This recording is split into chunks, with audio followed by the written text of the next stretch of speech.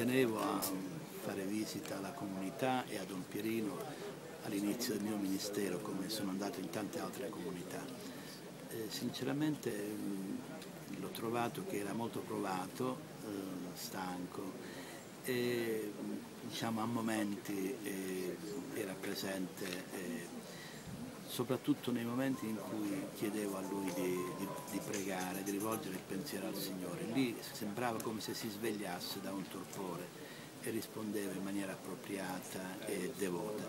Ovviamente per me è stato un momento molto emozionante perché incontrare un sacerdote provato che ha fatto tanto bene alla Chiesa e all'umanità, ecco per me era un, un momento molto bello, molto importante e anche il fatto che io potessi dare un conforto questo sacerdote provato è stato per me motivo di soddisfazione e di gioia.